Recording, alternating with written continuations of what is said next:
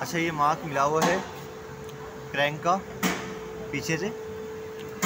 और ये जो ऊपर के टॉप मार्क्स हैं कैम के, ये भी मिले हुए हमने टाइमिंग एडजस्ट जो करी है,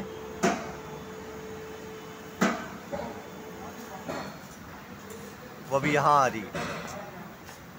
राउंड दो।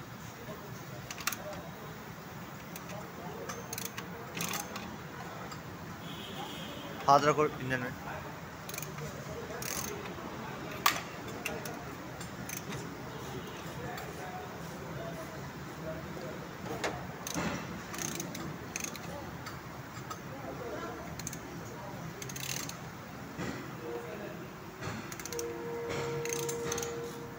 ये दूसरा राउंड है।